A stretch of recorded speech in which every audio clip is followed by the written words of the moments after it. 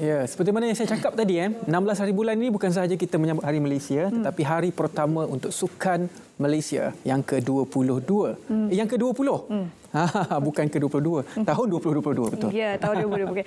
Um, saya faham uh, Ridwan excited sebenarnya teruja ha? uh, sebab ialah kan dah tergendala sebab ha? pandemik dan sebagai Kali ini Sukma menjelma kembali hmm. pada 16 September.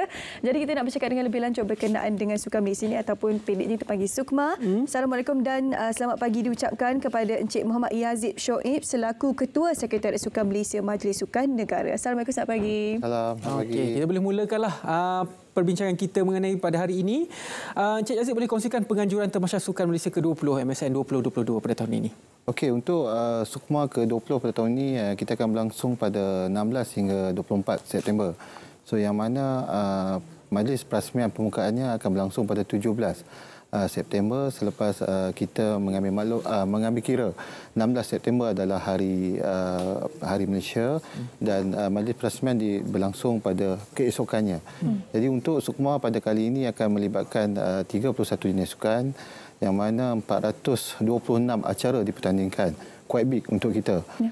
Jadi uh, di sini untuk uh, Sukma ini juga kita akan melibatkan uh, lima kluster venue pertandingan yang mana yang utamanya adalah di Bangi, di Bukit Jalil sendiri, di uh, di Shah Alam, uh, Kuala Lumpur dan juga yang terakhir sekali di Langkawi hmm. yang melibatkan sukan pelayaran. Hmm. Dan juga uh, uh, peringkat jawatankuasa pemula menyediakan uh, empat kluster perkampungan utama yang mana di UKM uh, melibatkan lebih kurang uh, 4,500 uh, atlet dan pegawai menginap.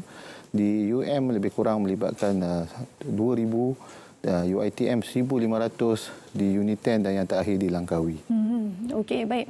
Uh, Sukma, ini um, sepatutnya giliran seterusnya mengambil alih sebagai tuan rumah adalah Johor. Uh, tapi sebab ketunda-tunda dan sekarang ini um, MSN um, mempunyai kata putusnya sebagai tuan rumah. Jadi bagaimana uh, persediaan setakat ini? Um, tinggal beberapa hari je lagi ni kita nak menerima kehadiran para atlet kan? Okey, uh, seperti mana semua sedia maklum, uh, sepatutnya Sukma ke-20 ni berlangsung di Johor. Ya. Tapi oleh kerana kita COVID, uh, jadi uh, uh, Sukma ni terpaksa ditunda. Dan uh, selepas pada itu, uh, MSM mengambil tanggungjawab selepas uh, pihak kerajaan Malaysia memutuskan uh, Sukma perlu berlangsung di KL dan MSN uh, selaku di bawah agensi KBS mengambil inisiatif untuk menganjurkannya. Bukan apa untuk Sukma ni uh, kita perlu diteruskan selepas uh, Sukma 2018 selepas 2 tahun uh, atlet-atlet yang berumur di, di di bawah 21 tahun ni dia tiada sukma. Hmm. Jadi dia tiada temasya yang yang bersesuaian untuk dia beraksi. Yeah. Jadi kalau kata 2022 MSN tak ambil alih dah jadi 4 tahun. Jadi kita akan hilang satu uh, satu uh, peringkat umur atlet yang yang dia tidak sempat beraksi. Yang sepatutnya dia beraksi di sukma so dia tak sempat beraksi. So walaupun dalam tempoh 3 bulan uh, MSN uh, ambil inisiatif uh, ber, berhempah pulaslah Ah, rakan-rakan saya di pejabat semua uh, tak tidur malam untuk nak menjadikan uh, semua pada kali ini uh, akan berlangsung seperti mana yang sepatutnya berlangsung di negeri Johor. Hmm. Jadi uh, seperti mana uh, semua sedia maklum uh, RTM uh, adalah rakan rasmi penyiar yang akan uh, membantu kami uh, untuk menyalurkan uh, berita-berita terkini uh, dan seterusnya uh, upacara pembukaan akan disediakan secara langsung daripada ATM pada jam 8.30 malam di uh, Dekta UKM begitu juga dengan uh, majlis uh, perasmian penutupan akan secara langsung So selain pada itu uh, ATM juga akan menyiarkan secara langsung uh, untuk melibatkan 10 sukan yang saya dipahamkan akan uh, ada session pada waktu pagi dan petang. Hmm, okey. Sebelum ini atlet yang dibenarkan bertanding dalam Sukma adalah 12 hingga 21 tahun. Tapi untuk edisi kali ini dia agak istimewa kerana hmm. kami difahamkan ada penlibatan atlet yang melebihi had umur. Yep. Uh, kenapa situasi ini boleh berubah dan berlaku? Okey, syarat utama peraturan tetap Sukma hmm. atlet adalah di bawah 21 tahun. Uh, tetapi selepas uh, Sukma di Johor di, ditangguhkan, uh, jadi kita mengambil kira atlet-atlet yang telah berlatih uh, daripada 2019, 2020. So apabila kita mengekalkan dengan umur 21 pada 2020 ini, uh, atlet-atlet itu telah, telah berumur 23 tahun. Hmm. Ini yang saya kata awal tadi, uh, kita akan hilang satu uh, umur di antara uh, umur 18 sehingga 21 tahun itu dia tidak sempat beraksi di Sukma. Jadi atas atas dasar itulah uh, jawatan kuasa tertinggi uh, Sukan Malaysia yang dipengerusikan oleh Yang Berhormat Menteri uh, telah mendapat sebelas suara uh, untuk membenarkan uh, ini kita panggil edisi khas untuk uh, atlet-atlet yang berumur 23 tahun dibenarkan beraksi kecuali untuk sukan bola sepak dia. Hmm. Cuma untuk semua pada kali ini uh, saya ingin memaklumkan uh, bahawa uh, beberapa sedikit perubahan kita buat uh, iaitu penambahbaikan uh, berbanding sukma-sukma sebelum ini. So salah satunya saya ingin maklumkan kita buat dia panggil uh, delegation registration meeting iaitu uh, proses uh, pendaftaran delegasi. So selama ini uh, proses itu tidak berlangsung uh, tidak ber, ber, tidak uh, kita mengambil kira proses tersebut seperti mana di temasya-temasya besar di Sukan Asia, Sukan SEA, Sukan Commonwealth dan Sukan Olimpik. Hmm. Jadi yang itu proses itu kita nak menunjukkan kepada kontingen-kontingen negeri uh, sukma di MSN mirip seperti mana kontingen negara beraksi di uh, temasya besar. Hmm. Ini kita boleh uh, menyemarakkan lagi dah semangat uh, para atlet yang menyertai setiap pertandingan yang bakal dipertandingkan di bawah Sukma ini. Uh, cumanya apa apa relevan Sukma ini diadakan sebenarnya kalau Tuan Zid berkongsikan? Okey, semua sedia maklum uh, Sukma adalah uh, satu temasya uh, utama di peringkat tertinggi di Malaysia. Jadi dengan adanya sukma uh, pembangunan sukan di peringkat akar umbi itu dia akan berterusan walau bagaimanapun dalam uh, atlet-atlet yang di peringkat negeri yang berlatih ini dia ada kejohanan dia. Hmm. Kejohanan remaja, kejohanan kebangsaan, kejohanan MSM. Tetapi bila main dengan Sukma ni dia punya semangat, dia punya kenegerian tu dia tinggi. Hmm. Uh, dia sanggup mewakili, uh, dia dia mewakili negeri. Uh, jadi ada sokongan daripada kerajaan negeri, uh, sokongan daripada ibu bapa, ibu bapa sanggup ambil cuti untuk mai ke KL hmm. untuk support. Tapi uh, itulah maksudnya. Hmm. Okay. Yang keduanya dari segi kita punya uh, sistem kepegawaian teknikal. Jadi dengan ada Sukma ni uh, sistem pengurusan pertandingan tu dia mungkin lebih sistematik hmm. berbanding uh, sukan-sukan tu dianjurkan secara individu.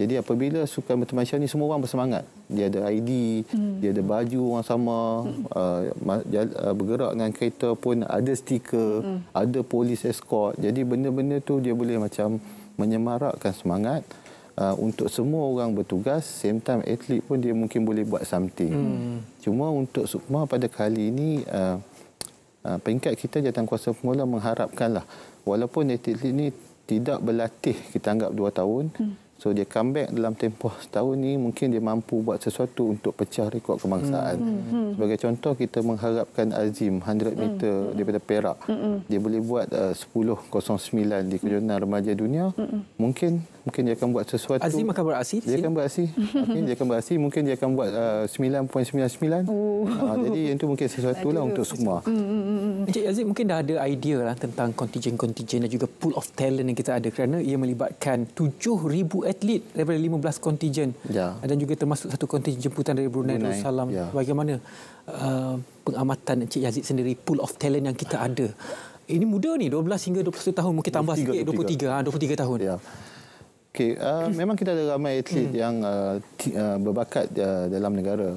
Hmm. Uh, cuma sekarang ni uh, dari segi tu macam saya kata awal tadi, uh, Sukma ni dia boleh um, buat sesuatu untuk dia orang membuat lebih baik. Uh, sebagai contoh, uh, atlet-atlet kita di negeri ni dia hanya terlibat di kejohanan-kejohanan yang yang yang diklasifikasikan mungkin rendah. Hmm. Kejohanan MSSM, kejohanan remaja kebangsaan. So dengan Sukma ni lah uh, kita akan mungkin ada some talent yang tiba-tiba yang yang yang boleh untuk peringkat jurulatih nasional kerana Sukma ni mungkin bulan depan dia dah boleh terpilih ke ke Bukit Jalil mm-hmm. untuk berada di dalam persiapan kesukan SEA Cambodia tahun depan. Mm-hmm. Jadi yang itulah kita harapkan lah Sukma mm-hmm. ni uh, walaupun dalam tempoh ni uh, mungkin ada ada ada kekangan tetapi insya-Allah kita akan ada something result yang baik Betul. daripada tiap-tiap mm-hmm. uh, daripada negeri-negeri. Sukma ini boleh menjadi satu platform untuk kita menggilak bakat kan dan Betul. juga um, ialah jumpa mana-mana bakat yang yang terpendam sampai ini kita hmm. tak, tak tak berikan tumpuan yang penuh Betul. disebabkan ada banyak perkara lain yang perlu diberikan tumpuan selama ini. Um, Okey, jadi bila kita bercakap berkenaan dengan uh, penganjur sukan Sukma MSN sebagai tuan rumah, selalunya um, selalunya lazimnya lah uh, tuan rumah akan menang atau menjuarai keseluruhan selalunya kalau macam kita tengok uh, Sukma Perak sebelum ni kan uh, ataupun Sukma Sukma sama-sama ni. Jadi ada kelebihan untuk tuan rumah sebenarnya uh, kita guna uh, di lapangan padang yang sama, yang sama untuk para atlet macam mana pandangan uh, Cik Aziz sendiri? Okay, untuk maklumat uh, untuk hmm. semua KL ni kes special, edisi hmm. khas. Hmm. Uh, kami daripada MSN kami tak ada kontijen. Hmm. Oh, okey. Okay. Hmm. Uh, jadi kami, kami tidak mewakili mana-mana negeri. Okey. Okey, jadi berbanding di Perak, hmm. uh, Perak adalah tuan rumah hmm. tetapi dia menyiapkan atlet. Hmm. Uh, jadi untuk di uh, Sukma uh, MSN uh, kami menyediakan platform untuk kontijen beraksi. Hmm. Jadi kami tak ada berat sebelah. Okay. Uh, walaupun uh, wilayah adalah sebagai uh, kami punya uh, partner hmm. tetapi kita bukan uh, MSN bukanlah tak uh, wakil langsung. Tak ada, kita tak ada oh. kontijen. Okay. Uh, jadi 15 negeri uh, sorry 14 negeri Uh, termasuk dengan uh, satu kontijen negara Brunei Darussalam. Jadi MSN adalah penganjur, hmm. penganjur dan tidak melibatkan uh, uh, hmm. kata apa uh, uh, atlet yang akan bertanding di bawah MSN. Bagaimana pula untuk para Sukma ke-20 ni? Okey. Yang akan berlangsung 1 hingga 6 November. Okay. Selepas habis dia 24 hmm. September, uh, kawan-kawan saya dekat MSN tak akan tidur lagi. Hmm. Dia akan tinggal lagi bini saya. ah, sorry, bini saya pula. Dia akan oh, tinggal oh, semua bini-bini. Jadi uh, apa nama ni um, sambung kejap. Kita akan sambung lagi pada 1 hingga 6 November untuk uh, para. para Sukma pula. Gap hmm. tu terlalu jauh kan? Uh, tak jauh pun. Uh, 24 sampai 1 November tu lebih kurang dalam sebulan. Ha, sebulan. Jadi kita akan bersama-sama dengan atlet-atlet uh, para uh, daripada negeri hmm. uh, yang lebih kurang mungkin 2 2000 orang hmm. dalam uh, 10 sukan akan berkampung di Bukit Jalil juga. Hmm. Uh, jadi kita akan uh, meneruskan seperti mana kita buat untuk Sukma. Jadi kita insya-Allah kita akan buat yang sama juga untuk atlet-atlet para hmm. uh, negeri. Hmm, okay. Bagaimana ketulusan uh, ialah untuk mengadili setiap pertandingan juri-juri, referee semua? Adakah bagi daripada MSN juga atau macam mana? Okey, uh, uh, kita setiap uh, sukan-sukan tu kita bekerjasama dengan dia punya persatuan sukan kebangsaan. Hmm. So persatuan persatuan sukan kebangsaan ni dia dah dia dah power dah. Dia hmm. dia, dia dah ni dia so dan dia ada dia punya kita panggil sebagai ketua delegate technical. Hmm. So dia orang ni semua ni adalah orang-orang yang uh, memang uh, berada di di kejohanan-kejohanan antarabangsa. Jadi untuk dari segi itu uh, kita memang uh, menganggap tidak akan ada some bias. Mm, Macam yeah. awal tadi uh, mm. MSN tak ada tim. Mm. Jadi kami tak perlu kau tim apa-apa yeah. dengan yeah. dengan ni. Ada kepentingan so, mana-mana so negeri eh. Fair play. And so fair play uh, mm. siapa kuat dia menang lah. Yeah, betul. Uh, siapa laju dia dapatlah gol tu. Uh, Itu kita mengharapkan lah. Yeah. Uh, jadi kita takkan atur perlawanan apa-apa. Mm. Jadi uh, best man wins. Mm. Ya betul. Mm. BMW eh. Okey mungkin sedikit kata-kata akhir daripada Encik Yazid sendiri?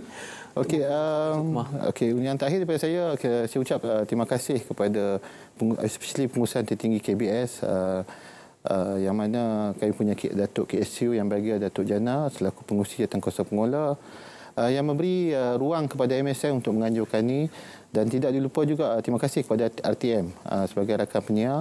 So sebagai saya di peringkat uh, Sekretariat Sukan Malaysia mengharapkan uh, kejohanan ini berlangsung dengan dengan baik, lancar walaupun kita kita ambil maklum beberapa kekangan-kekangan yang kita hadapi uh, melibatkan aspek logistik hmm. kita tambah baik dan juga uh, untuk uh, adik-adik uh, daripada kontijen negeri uh, rakan-rakan daripada uh, majlis sukan negeri so selamat datang uh, ke Sukan Malaysia So apa yang saya boleh cakap game on.